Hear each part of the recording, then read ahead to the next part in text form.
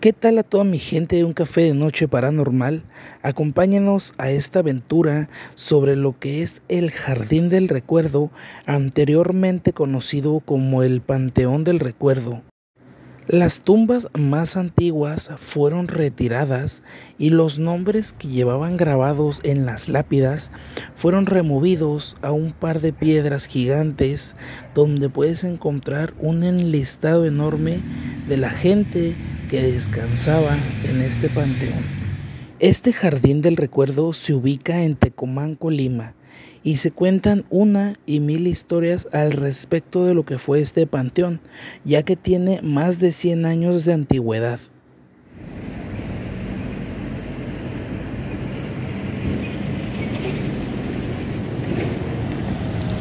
Nosotros al momento de visitar dicho panteón no estábamos enterados sobre los mitos y leyendas que se llegan a contar como por ejemplo la dama de negro que atraviesa la calle y las luces que aparecen de la nada que pueden llegar a ser captadas en este video de una forma impresionante.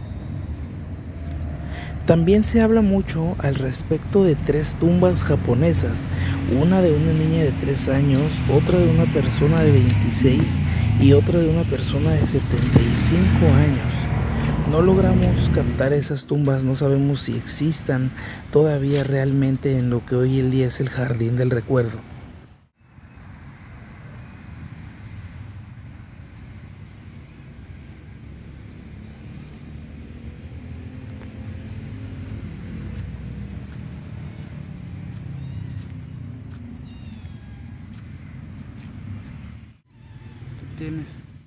Algo que llamó mucho mi atención fue este gatito.